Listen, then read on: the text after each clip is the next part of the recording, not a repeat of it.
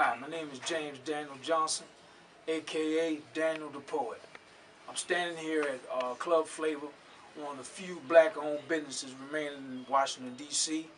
It is located at 618 T Street Northwest, across the street from the famous Howard Theater. I'm about to recite three pieces for you, and I'm sure you're going to enjoy them. The first one goes like this. We were bought and sold like cattle. Across the Atlantic we journeyed the waves. Our ancestors were taken captive and forced to become slaves. For them it was extremely difficult. I suppose mere words could never tell. The cruelty they had to endure was no doubt a living hell. But after many years of inhuman oppression, at last we were finally freed. Yet for our equality, there remained a great need. Then began the ultimate task, one of history's greatest fights. A war or morality was our struggle for civil rights. The battle was long and hard, but a race we had to run.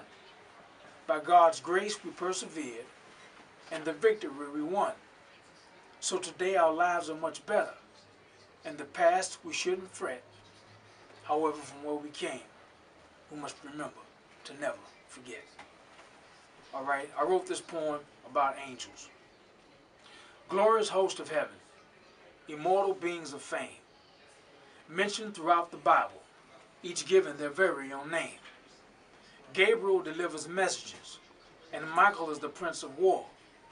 Surely time would fail me to tell of the many more. They possess miraculous powers, and are arrayed with splendor and beauty and indeed to protect us is a part of their duty. They walk upon the earth, traveling to and fro, concealing their true identity, when in their presence you wouldn't know. Perhaps it's hard to believe, but this fact I'm compelled to share.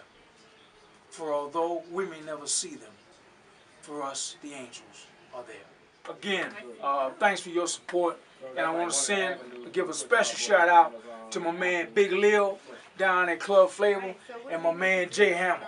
All right, without these two guys, you know what I'm saying, it would be a lot harder for me to accomplish my goal.